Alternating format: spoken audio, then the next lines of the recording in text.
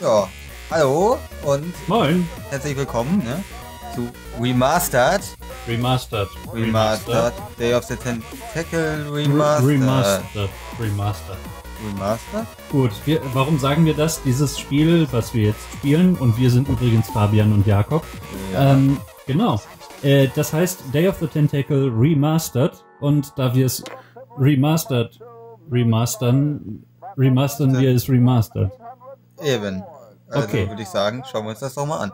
Kurz für, vor dem äh, Einstieg können wir ja noch kurz sagen, es handelt sich um ein Point-and-Click-Adventure, was es im Jahre 1900 irgendwann 90 schon mal gegeben hat. 12 und 12. 12 und 12.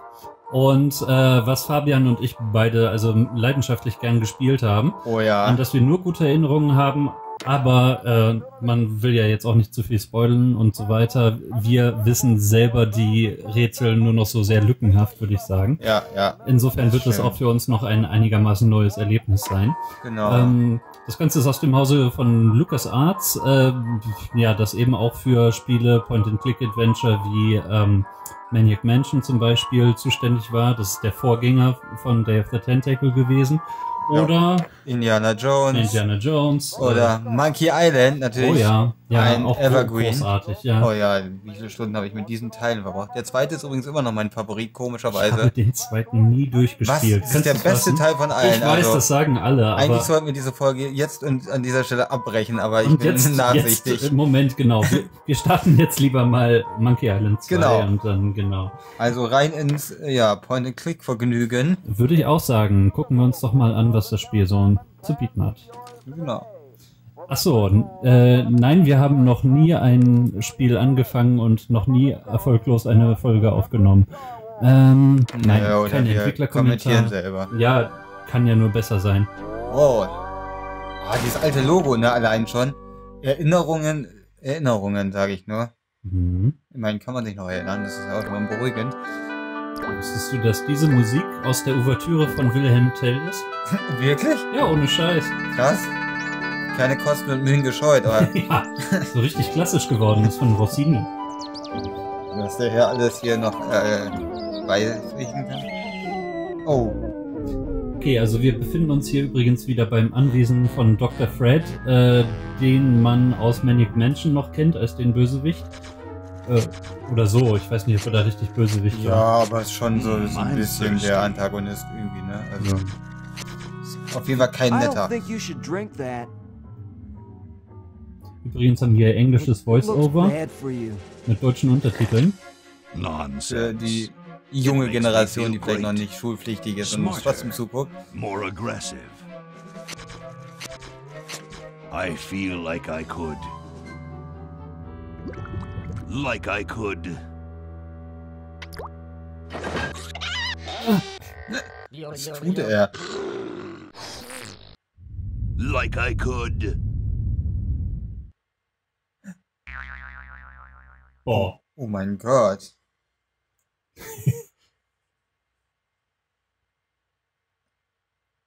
Take, on the world. Schöner Untertitel. Oh ja. Sehr dezent. Die Welt erobern. Ah, okay, da kommen auch unsere Look, Ogie, it's a Hauptcharaktere. hamster. Just what I need for dissection lab tomorrow. I think I need that for the band, Laverne. You know, like we could bite its head off or whatever. Apropos dezente Untertitel. Äh, ja. Hands off that hamster. Friend of yours, Bernard? He belongs to Weird Ed Edison, and it looks like he's brought us a note. der Weird Hamster. Ed Edison.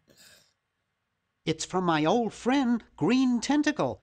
He says that purple tentacles mutated into an Laverne insane genius. aufgeregt aus. And Oh, Dr. yeah. Fred's going to kill them both.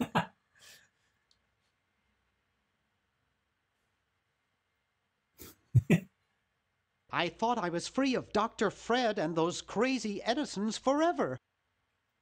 But now I know that I must go back to the mansion. Ich möchte meinen Grabstein in dieser Schriftart übrigens haben. Doch nicht Comic Sans. Nee, nicht Comic Sans, aber. Ja, die- Ja, die Schrift prima. Ich frage mich, warum keine Musik kommt. Ja, ich glaube, Kommt die nicht erst, wenn der Wagen startet oder kommt die gar nicht? Naja, also ich meine, wir beiden sind natürlich auch unterhaltsam genug. Aber wirklich. Ja, komisch. Äh, wurscht, wir kümmern uns dann zwischen den Folgen äh, mal um die Musik, aber äh, ich denke, nutzen wir doch diese Gelegenheit der Stille, äh, um noch ein wenig äh, rumzupalavern. Also, äh, sprich, du hast eben auch gerne andere Spiele aus äh, dieser Schmiede gespielt. Oh ja, ja, halt die Klassiker. Ich finde Indiana Jones war für mich immer einer der, weiß nicht, vom Setting her einfach eins der coolsten Spiele, weil Indiana Jones Fate of Atlantis oder da gab es ja sogar noch hier das äh, mit dem Heiligen Gral. ich glaube sogar das war's. Ja? Und irgendwie war der, der halt einfach immer schon, also als man jung war, war Indiana Jones halt eine geile Sau. So mittlerweile weiß man rückblickend, Nein, wie, hallo? dass er immer noch Indiana eine geile Jones Sau ist ist. immer noch eine geile Sau und von Indiana Jones gibt es nur drei Filme. Es gibt keinen vierten. Ja, okay, stimmt. Wenn wir den außen äh, vorlassen, ist es wirklich, ja, war auf jeden Fall, damals war es wirklich äh, ein Idol.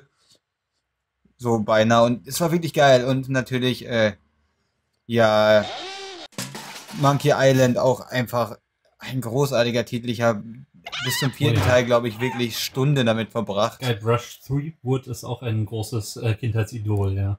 Oh ja, ich habe auch danach jahrelang nach Treibholz gefischt. An Gedenken an ihn. Nee, aber es, die Spiele waren wirklich immer geil. Vor allen Dingen halt sehr viel Charme und Witz in den einzelnen äh, Sequenzen und einfach Mm, immer so super lustige Charaktere irgendwie und Das bricht sich hier natürlich Bahn. Also während wir hier so random Soundeffekte ab und zu hören. Ähm, äh, ja, wir haben hier ein relativ langes Intro erstmal, ähm, was wie gesagt normalerweise auch nicht so still wäre. Aber da haben sie jetzt das Menschen auch schon erreicht, wo eine Alte am Fenster steht und rausguckt. Oh ja, ist es nicht vielleicht sogar die Kuh? Man weiß es nicht. Okay, we'll spread out commando style. Laverne, you go secure the area behind those double doors. Hoagie, you take care of upstairs reconnaissance. I'll maintain Command HQ here in the lobby. What are we looking for? What are we We've looking got to find where? Dr. Fred is holding the tentacles. This better not take too long. I've got an anatomy final tomorrow. And I've got a show to set up later tonight. If I'm late, I don't get a test extra for so. Akzent. Äh, vermutlich. If I know Dr. Fred, Klingt australisch. he's got the tentacles yeah. tied up in his secret lab. Question is, where's his secret lab? Gute Frage.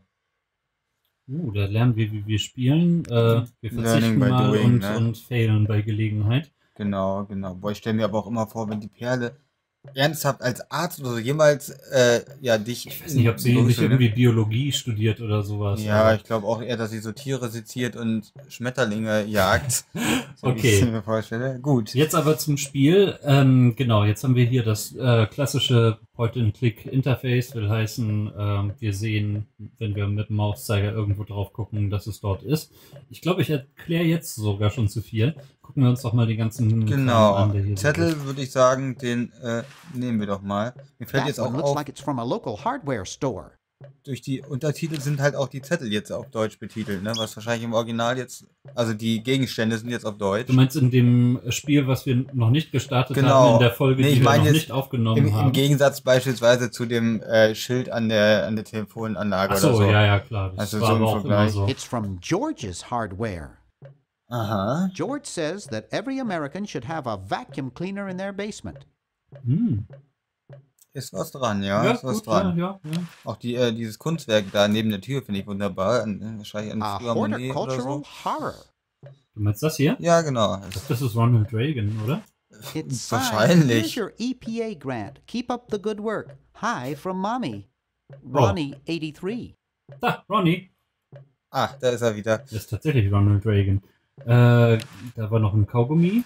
Krass. Mmm, spearmint, my favorite. Ja, nehmen wir den Groschen doch mal raus. Oh, Groschen ist ein wunderbares Wort. Oh ja. Warum benutzt das niemand mehr? It's Ich weiß auch nicht, the irgendwie mit dem floor. Euro, äh, mit der D-Mark so ein bisschen untergegangen, ne? ja, schon. genau, genau wie der Heiermann. Der Heiermann. Oh, Waren ja. das zwei oder fünf, Fünf Mark? Mark. Waren fünf Mark. Ich weiß ne? ja nicht warum, vielleicht konnte man mit dem Heiermann besonders gut beruhigt schlafen, wenn er unter dem Kissen lag. Ah, äh, gucken wir doch mal, was mit diesem Telefon hier ist. It looks broken, but there's something in the coin return. Übrigens, äh, das wäre jetzt vielleicht noch kurz die Gelegenheit zu sagen, äh, wir hätten das Voice-Over auch auf Deutsch umstellen können, aber wir wollten nicht, weil wir uns daran erinnert haben, wie unglaublich bekackt es damals Oh ja, es war eigentlich so das Einzige, was an dem Spiel echt negativ aufgestoßen ist, waren diese, ja, diese Synchro. Da ist noch ein Groschen im Telefon. Jawohl. Ich freue mich immer noch über dieses Wort. Okay, gehen wir doch mal hier ins Office rein. Okay, schauen wir mal. Okay, äh, das ist offenbar Dr. Freds Office. Ich Looks denke, like Dr. Fred wearing a powdered wig. Handsome in a way, but I'm glad he eventually accepted his hair loss. Irgendwie hübsch. irgendwie, ja, Bernhard ist wahrscheinlich auch irgendwie hübsch. Das wollen wir doch mal ausprobieren, wenn er in die Kamera guckt. Schauen wir mal, was passiert denn dann wohl? Oh, ah, Always okay. make sure they get your good side. Ja, äh, Einstellungsgrößen. Daran habe ich mich noch erinnert. Oh, man beachtet natürlich auch rechts hier wieder Star Wars, Lucas Arts und Star Wars natürlich. In jedem Spiel in der Zeit gab es irgendwo Star Wars References. Wow, it's from my favorite movie. Oh ja, kann ich Mit zwar nicht welcher bestätigen. Begeisterung er dabei ist. Ja, so ein bisschen Schleichwerbung hat er sich Boy, dann doch äh, noch. a spectacularly rausgenommen. ugly family. Spectacular. I don't want to carry those people around in my wallet. Okay, ja, ist ein Argument. Schweizer Sparbuch. Das könnten wir doch mal Dear nehmen, Dr. oder? Fred doesn't have a penny. Nicht mal einen Groschen hat er. Sleek Das ist ein design, sturdy construction, Geschweige denn ein attractive housing. Oh ja. All in all, a fine phone. Okay. Even 911 won't handle this kind of emergency. Mhm, what? Okay. I Ja. don't have time for idle chit chat now. I have work to do. Okay, dann wollen wir doch mal noch gucken, was in dieser Schublade ist. It's Stimmt, da könnt ihr closed. noch. Ja, dann öffne es doch. Hier, öffnen. Schauen wir uns das doch mal an. Tipp-X. Ja, geil. Nehmen wir doch direkt. Was sagt er dazu? It's a bottle of correctional fluid. Ja, Tipp-X. Ja, Ich schön, glaube, dass es auch noch mit Trademark in dem Spiel drin ist. Also, witzig. Steht da TM? Der steht, ja, Tipp XTM. Achso, ja. Witzig. Ah ja, das- das muss ja, glaube ich, auch angegeben werden, ne? Ja, aber einen anderen Namen gibt's halt nicht. So, also Korrekturflüssigkeit kannst du ja nirgendwo hinschreiben, ne? Äh, nee, ist auch nicht so werbeträchtig. Okay, auch nicht, nee, das stimmt. Mal, ne? I'm not leaving this motel until I find those tentacles. Das ist so typisch Adventure. Ja, die Tür mache ich einfach nicht auf. Ich weigere mich. covering that territory. Okay, dann sollten wir uns doch mal nach rechts begeben. Und Die- hochgehen. Ja, stimmt, die Treppe und die Uhr haben wir auch noch nicht inspiziert. Hoagie's got that part of Ah, aha. Ja, das heißt, irgendwie müssen wir hier jetzt noch weiterkommen und äh, ja gut, ich meine, es ist ja relativ offensichtlich, was hier Irgendwie, irgendwie die Hmm, Uhr, ne? something Ja. funny about that clock. something funny. Man könnte, ja, den. Ah, genau. A secret passage. This is all too easy. Ja, schon. Nee, vor allem daran haben wir uns jetzt gerade noch ziemlich erinnert. oder? Ja, das stimmt. Aber ich meine, das erste Rätsel, wenn man da dann direkt so, ein, so eine hohe Barriere aufbaut, dann, äh, ja, es ist halt auch vielleicht ein bisschen schwierig. Laverne, how'd you get upstairs? Upstairs. Am I upstairs? I got lost. Seen any tentacles? Übersetzt mit Ups. Sehr gut. Oh, just Kurzfassung. something I whipped up in my spare time. Made good pets, actually. Until one of them tried to take over the world. Had to tie the little buggers up in the basement. Good thing you told us that. Yeah, Bernard wanted us to set them free. Thank God you weren't that stupid. Hm, Did you gar say, nicht. Bernard? Ach man, da hat er sich verplappert, der Digga. Okay, Stop you're me. free to go. Thanks, Bernard. Yes, thank you, naive human. Now I can finish taking over the world. Boah, ich freue mich so, dass wir das spielen. Oh ja. Oh, yeah. Now I remember. Ah, da war ja was. He's incredibly evil, isn't he? Uh, Dazu muss I'll man try to Manic talk him out Menschen gespielt haben. Ja, das stimmt. Was ich übrigens nicht habe, aber Ich auch nicht. okay. Well, ich what hab's possible angespielt, harm aber dazu kommen one wir wahrscheinlich später. Mutant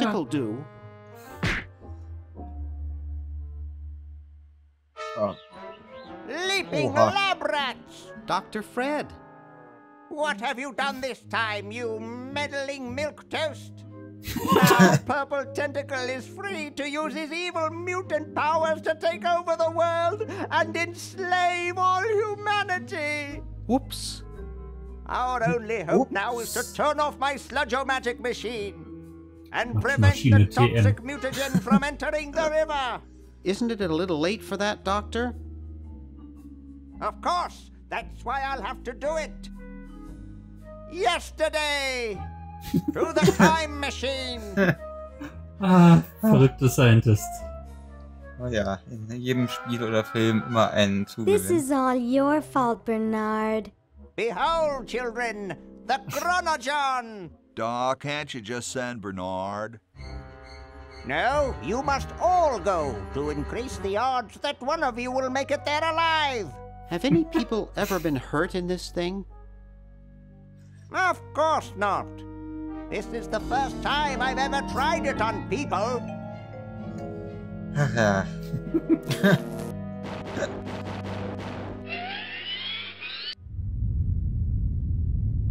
Ja? Daran erinnere ich mich auch noch sehr gut, aber es sind immer so Bruchstücke, die I'll wieder be. kommen. Hm,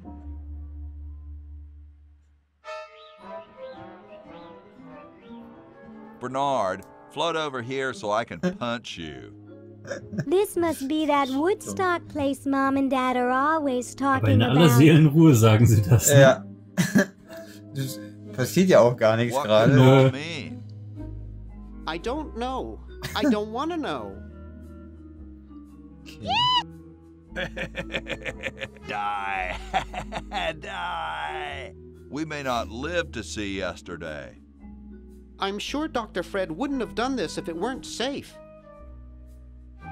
After all, he is a doctor. Hm, Ja. It works! I can't believe it! Gutenberg is auch ein Doktor. Ne? And they Eben. said imitation diamond wasn't good enough. Uh-oh. Ups. Ich hätte doch mal einen Groschen mehr investieren sollen. Kostet schon mehr als ein Heiermann Oh und ja. Groschen zusammen. Ne? Er genießt es natürlich, der Alte. Der australische Surfer. Oh ja. In der Statue surfen stelle ich mir auch richtig vor. The Old Outhouse.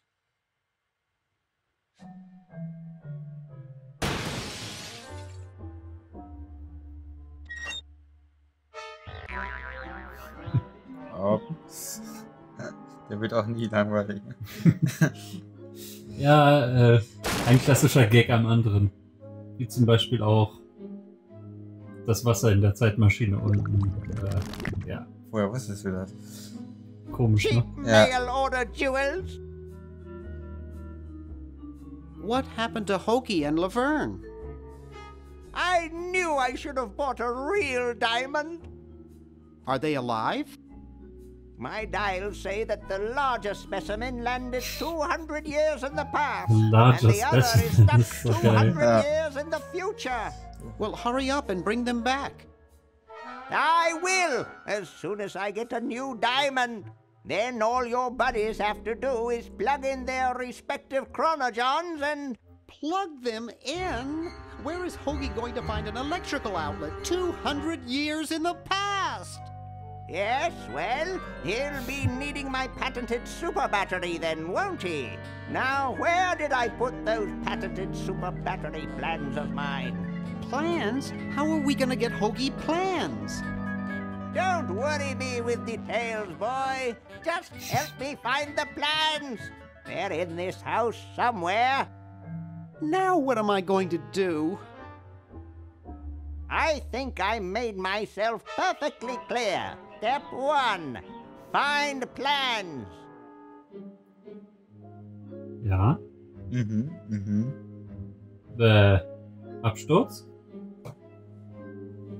Ja, oder? Scheint wirklich so. What? Echt geil. Ey, das Spiel ist noch genauso absturzanfällig wie damals. Geil, ja, das ist doch ein abstürzendes Ende für diese Folge vielleicht. Ja, ich würde auch sagen, ähm, also ich weiß aus zuverlässiger Quelle, dass die Story auch äh, direkt nach dieser Szene dann losgeht. Ja, Insofern denke ich, äh, werden wir tatsächlich hier mal äh, aufhören und äh, sehen uns in der zweiten Folge äh, Remastered spielt Day, of the, Tentacle, Remastered, Re Remastered wieder. Äh, und bis dahin äh, einen wunderschönen Abend, Tag, Nacht, wo, wann und wo ihr Und uns falls wir uns nicht mehr sehen, guten Ja. Morgen, guten Abend und gute Nacht. Habe ich schon mal erwähnt, ja. Habe ich schon mal erwähnt, dass ich schlecht in Abschieden bin? Äh, äh, nee. In dieser Serie noch nicht, ne? Ich glaube, das war bei GeoGuessr. Okay. Genau, genau. Äh, Und ja, wir sind raus. Ne? ciao. Tschö.